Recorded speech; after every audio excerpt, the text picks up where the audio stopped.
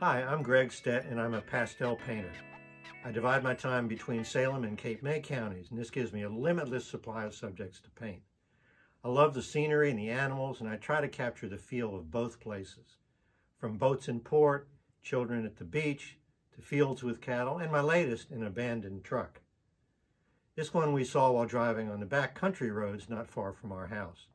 I just love the character of the rusting old truck, soon to be entwined with vines.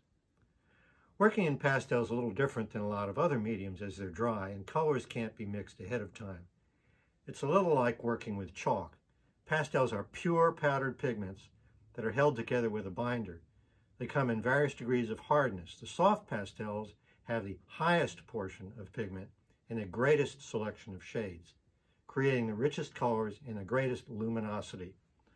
I use soft pastels and just look at the wonderful variety of shades in these greens. I also use pastel pencils for the fine details that I like, like the emblem on the old truck. The pencils are really hard to sharpen as they're much softer than a lead pencil and they break very easily. The surface used in doing pastels must be rough or have tooth in order to hold the pigments. To create the color you want, quite often you have to blend layers together with your finger but keep in mind, you've got to be very careful. This is sanded paper and it can rub a little bit of the skin off your finger. So why do I like working in pastels? Because to me, they capture the reflections and light of nature, like the glow of the sun on sand, sky, or water, as well as the translucence of skin and the twinkle in an eye. I find my pastel painting to be both relaxing and challenging. I'm constantly trying to capture the essence of a scene or a personality so that you feel you're right there. That's why I have a passion for working in a realistic style. My goal is always to try to improve my technique with each work I do. The recording of intricate details, such as the ones of masts and spars in fishing boats in port, or capturing the wet mossy pilings in Stroll at Water's Edge, keep me looking for things to paint from unique perspectives. Let me show you a few examples of my work. The first picture is in Quinton Township.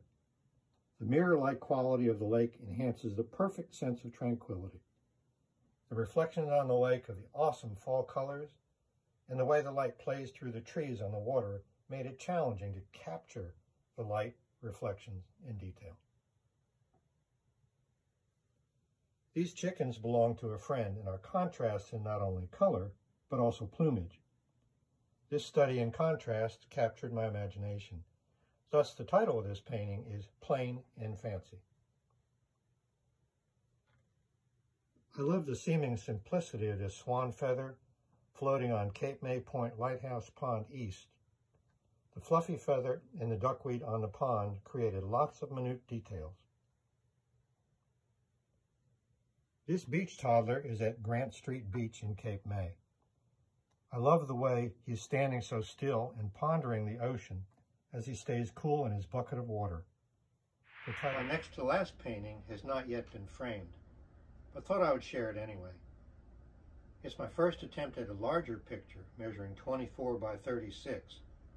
I really wanted to capture the texture of this guy's fur in his winter coat.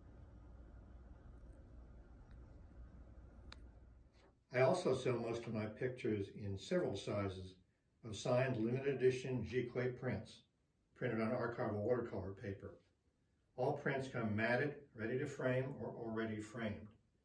Plus, my latest is the small tabletop size that comes with its own stand. I hope to see you at the Arts in Bloom Studio Tour on our new date, November 28th and 29th. My location is in the Salem Art Bank. In the meantime, check out my portfolio of commissioned portraits, originals, and prints website, Greg Stamps.